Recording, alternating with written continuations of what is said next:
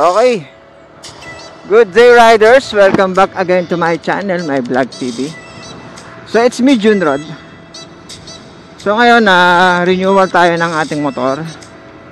July 2022. Hindi naman ito first time natin so lagi tayong nagpapa renew ng motor natin. So tingnan natin kung ano mga pagbabago kung may nagmahal na ba uli.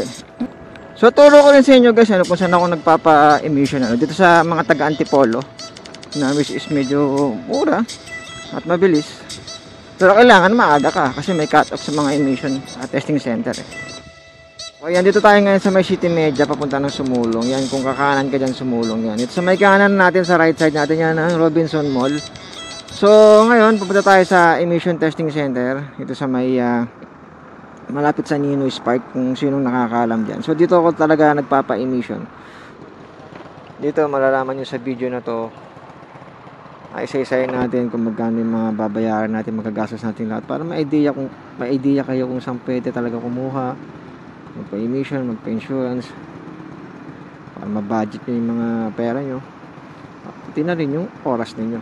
Emission ang pinakaunang requirements talaga. Kailangan meron tayong emission testing result na nagsasabing pasado ang ating motor sa smoke belching.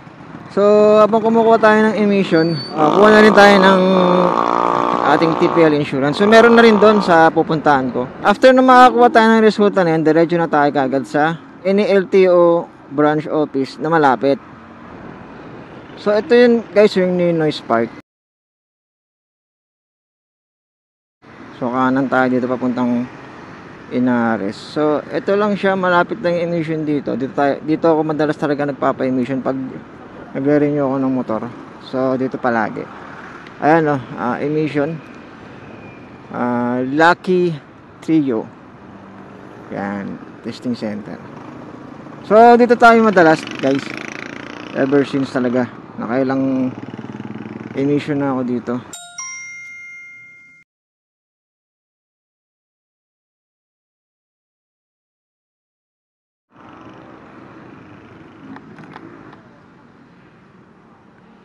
So dito ang emission testing center guys. So mapapansin nyo meron na rin TPL insurance dyan. Oh. 400. So after natin sa emission tsaka insurance. So ito yung ibabalik sa emission. Yan. Ay, yung mga sa may yung mga kahapon po na may insurance. na po dito yung mga So binigyan na rin, so binigyan na rin ako yung kahapon. Binigyan na rin ako ng form para sa stencil. So, diretso na tayo ng LTO. Okay. Two hours later. So, yun guys. Diretso na tayo ng LTO branch. So, G8 na siya.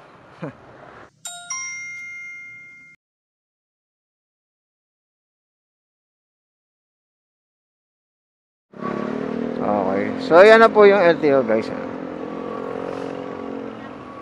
So, entrance tayo.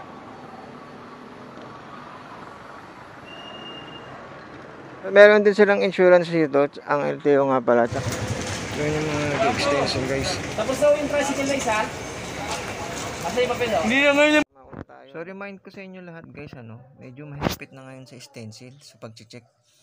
Bali, chine-check na nila yung ilaw sa harap, yung signal mo, tsaka, yung tail light mo, tsaka yung brake light. Dati hindi naman ganun kahigpit pero ngayon chine-check na nila. So better na bago, bago kayo pumunta dito, eh okay na lahat yung ilaw nyo para hindi na kayo pabalik-balik pa. Okay? So yun guys, ano, pagka tapos natin sa stencil, portal na tayo guys. Okay. Mag mag-register tayo sa portal.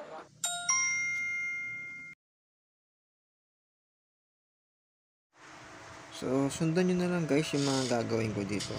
Lahat ng mga bibilugan ko, yun lang yung mga pipindutin nyo. At lahat ng mga pinipilapan ko, yun lang din ang pipilapan ninyo. Okay?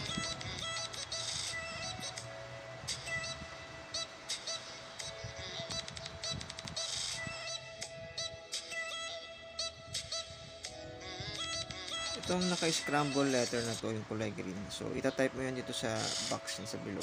So, dapat tama yan guys.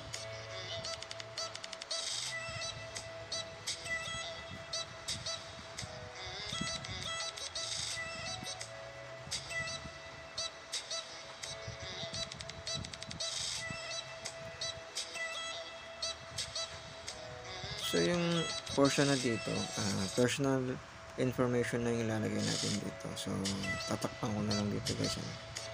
So sa mga nagtatanong kung paano kung hindi ikaw ang nakapangalan sa CR kasi nga second owner ka lang so may mga nauna na first owner doon sa motor or or kotse na hawak mo.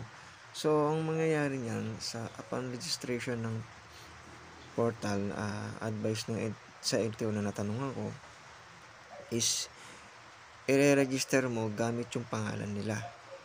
Pangalan ng first owner ang ilalagay mo. Pero yung sa birthday, kung hindi mo alam yan, pwede mo naman daw na hulaan na lang.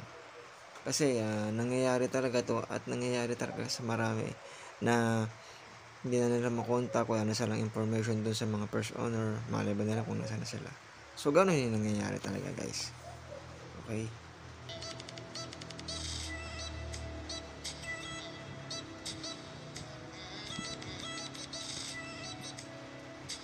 So dito guys no, ang ilalagay mo dito yung active na Gmail accounts o Gmail address ang ilalagay mo. Okay? Then dito naman sa baba yung cellphone number mo na active din. Okay? Then sa baba, create account.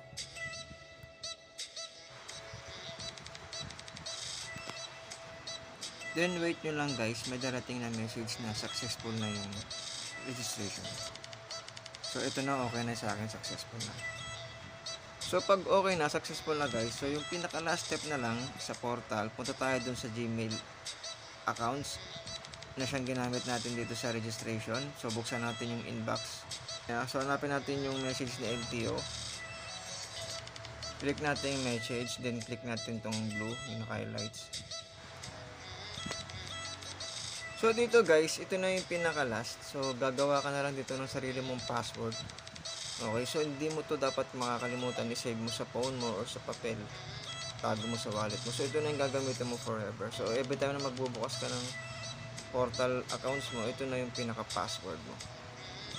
So yun. Okay na siya. So dito kasi sa account na, na portal na to, dito raw si LTO yung soft copy ng receipt, receipt ng OR mo.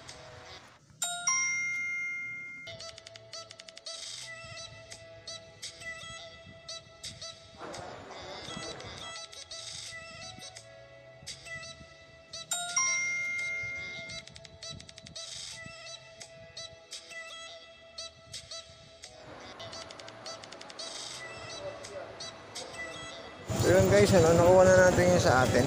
So inabot na ng 363. Mamaya ko computing ko guys, ano, kung magkano lahat ng inabot ng uh, nagastos natin. Alright? So okay, so yun guys, ano, nakuha na natin yung... So okay na.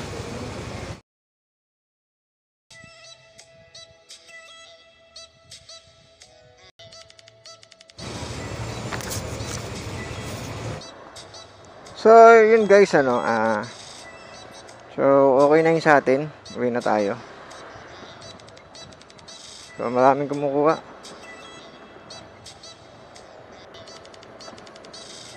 So, paglabas pa lang natin dito, daming mga medical, kuha ng insurance, and emission testing center. So, hindi mawawala yan basta sa pag may LTO. Yan mga kailangan kasi para So ayan guys, uwi na tayo no. So nakuha ko na. Wala naman tayong violation, wala tayong alarm. So 363.50 pesos. Okay.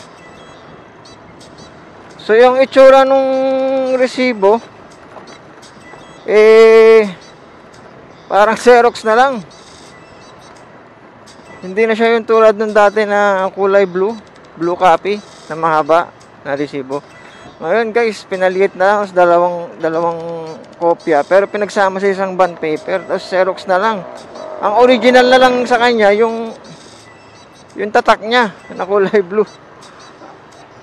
Na nakalagay spade na. So yun na lang yung nagsisilbing parang original niya.